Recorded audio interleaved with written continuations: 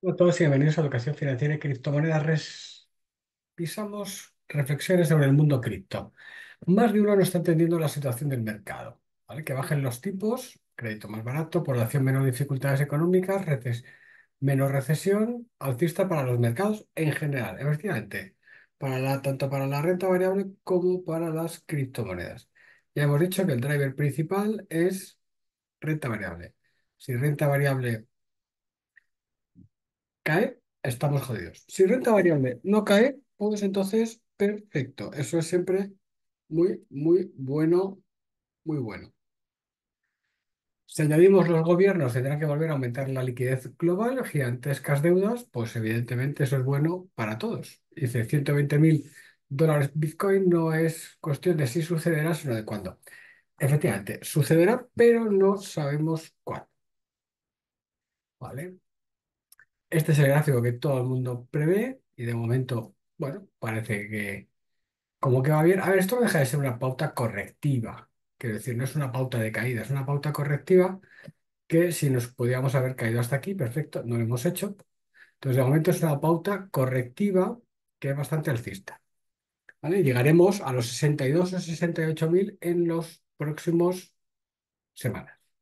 Re- ¿Reanudaremos el mercado alcista? Nosotros somos de la idea de que sí, de que a partir de el mes de octubre el mercado subirá hasta marzo, como ya lo ha hecho otros años, ¿vale? Ni más ni menos que eso. Es algo relativamente sencillo de ver por pautas eh, estacionales. También fijaos en una cosa que nos parece muy interesante, la acumulación de volumen en esta caída. Esto es lo que está buscando mucha gente.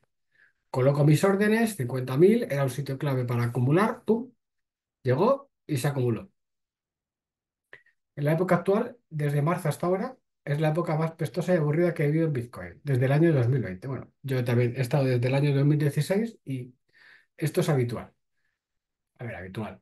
No es habitual, pero es lo lógico en un... Empieza a ser muy parecido a la renta variable, a los índices de renta variable, donde pueden derivarse meses moviéndose en un rango, en renta variable en un rango 5 o 6%, en Bitcoin en un rango de más menos 10% en el punto medio. O sea, un rango de un 20% que es una coñazo, ¿vale? El mercado bajista es más interesante que la época actual, era más divertida y sucedían cosas. El mercado está muerto, el mercado es un, es un rollo. El sector cripto tiene pocas asesinas, la sensación de estar completamente muerto. Esto es peligroso y perjudicial si lo que queremos captar es la, la atención del gran público minorista retail. A ver, eh, esto es una reflexión súper interesante. ¿Interesa captar la la- el interés del grupo minor- del minorista? Depende.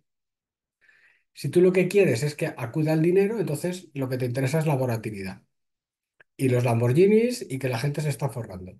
Si lo que tú quieres es acumular de determinadas cripto, no te interesa que venga nadie. Es más, te interesa que sea lo más aburrido posible para acumular. Acumular estamos hablando de meses. Entonces, si tú quieres acumular un Bitcoin o dos Bitcoin cada día durante, no sé, 100 días, pues te, te interesa que eso esté aburrido a más no poder y luego ya subirá. Pero claro, el resto del mundo cripto es interesante o es un coñazo. Que sí, acumulamos Bitcoin, vale, sube tal, un 1%, 2, 3, lo tenemos en 59, lo tenemos en 60, 61, 62, por ahí tiempo, meses, pero ¿acumularías Cardano, Solana, Tron? No lo sé. Es decir, hay mucho muerto, ¿eh? Entonces, al público minorista en esta caída que ha habido desde marzo hasta ahora, ha palmado muchísima pasta, ¿vale? Muchísima pasta. Entonces, igual es que estamos echándolo ya y ya, bueno, ya se quedarán los proyectos que se queden y el resto morirán indefectiblemente porque nadie va a meter pasta. Hola a todos y bienvenidos a Educación Financiera y Criptomonedas, Catalunya Coin, Real World Asset, tokenizamos reservas mineras, septiembre de 2024. El precio el próximo 22 de julio de 2025 será 0.04 Tether cuando se añada a los exchanges centralizados y descentralizados. 22 de julio de 2025, 0.04. Ahora, ahora mismo tienes un stacking del 25% en Catanubis Coin hasta junio de 2025. Si compras ahora, 25% de stacking hasta junio de 2025. ¿Qué implica esto? Compras 0.0166, precio en la web, stacking al 25%, sale 0.04, rendimiento 280% de septiembre a junio de 2025. Septiembre de 2024, junio de 2025. Y a partir de junio de 2025, stacking en Tether. Recibirás mensualmente entre 1 y 4 dólares por cada 10.000 tokens. ¿De dónde vienen esos rendimientos? De la producción de la mina. ¿Vale? El, dinero se invierte en la mina en producir, en sacar las reservas mineras que están con lo cual tienes un rendimiento medio de 7,60% sobre el precio de mercado, sobre los 0.04. Si lo calculas sobre el precio actual, 0.166, pues ese rendimiento se va por encima del 20%. Así que, ¿a qué esperas? Participa con Catanubis Coin. Muchas gracias. Tienes toda la información en la descripción del vídeo. Cuando el, cuando el indicador de pérdidas no realizadas, o sea, ganancias no realizadas frente a pérdidas, llega a 0,65, se habrá acabado el mercado, el mercado alcista. Hombre, aquí este gráfico es bastante chungo, porque aquí tienes este máximo y este máximo, este máximo y este máximo, este máximo y este máximo decreciente, y aquí ni siquiera ha llegado. Como que le está dando un chance a que aún queda una subidita más. Puede ser, Puede ser, pero igual no, ¿eh? Igual no. Lo- que sí que vemos de este gráfico es que cuando esté la próxima vez por aquí es el momento de compra. Puede ser, no, no tenemos absolutamente nada claro. Pero bueno, si llega a 0,65 claramente es venta. Y si llega a menos 0,20 menos 0,2 claramente es compra. Tipos de interés altos, 5,5 Estados Unidos, 3,5 Europa, inflación, salarios anclados y vuelta de vacaciones. Es una losa pesada para Bitcoin y cripto. Necesitamos un catalizador alcista para superar el rango 50-74. ¿Vale? Los ETFs de, de Bitcoin, esto es importante. Fueron el detonante que sacó al mercado bajista. No, no fue el detonante. O sea, el detonante empezó antes porque empezó a finales de octubre del 20, del 22, del 23, no lo sé. Pero bueno, el, prácticamente los ETFs de contado de Bitcoin puede ser el trigger que te lleve de 15 a 75.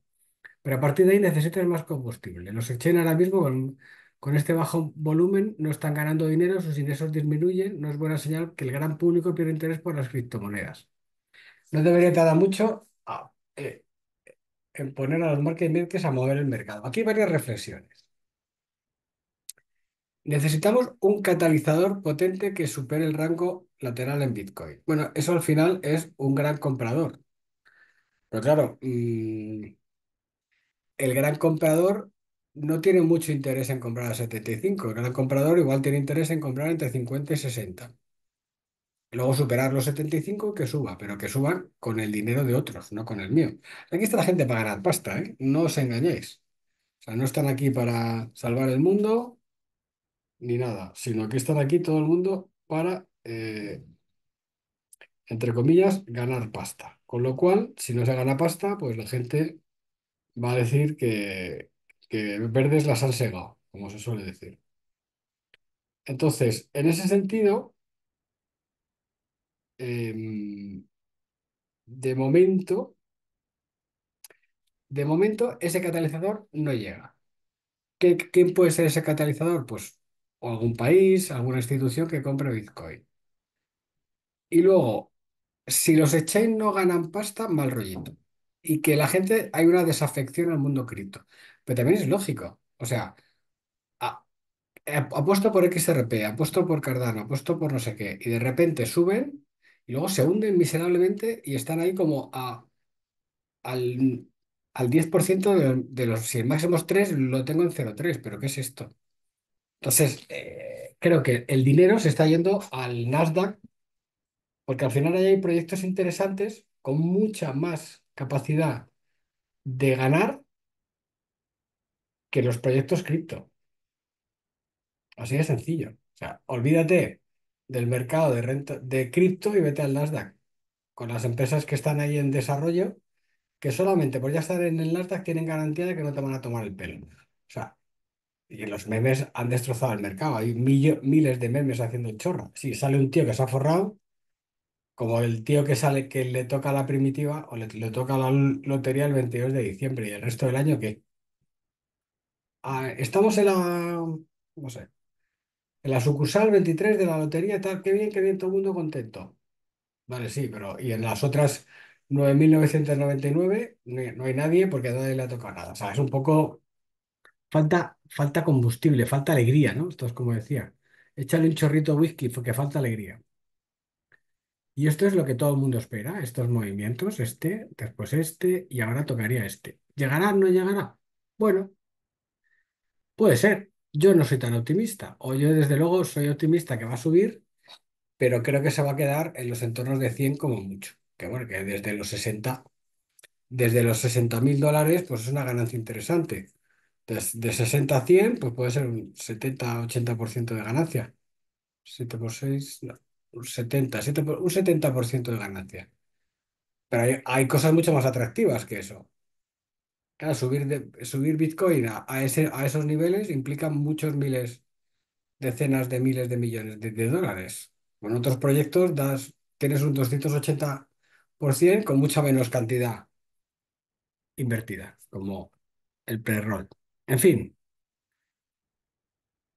hay muchas cosas a tener en cuenta. Lo que está claro es que si hay una subida, esta es la última. Un abrazo y hasta siempre.